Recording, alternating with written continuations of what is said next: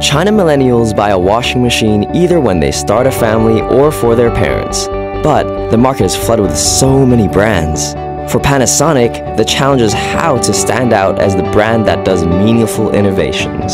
Every brand talks about caring for clothes, but not one cares for the users. This routine of bending down could cause chronic back pain, Instead of creating just another ad campaign, we leveraged on this insight to co-invent the world's first washing machine for back pain. The idea, love need not bend, Panasonic Research and Development, in partnership with their ad agency's medical team, designed a washing machine that significantly reduces the pressure on the spine by 40 kilograms less. The tub was elevated to lessen bending.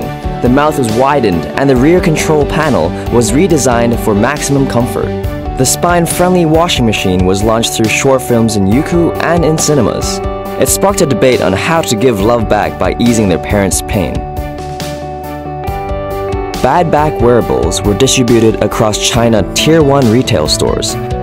Customers and KOLs got to experience how loved ones with stiff backs had to suffer when they used poorly designed washing machines.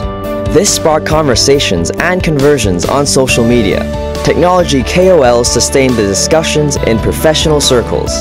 These led to the WeChat Hub, where people can learn more about Panasonic people-centric innovations. Love need not bend. A human insight that led to product innovation and market success.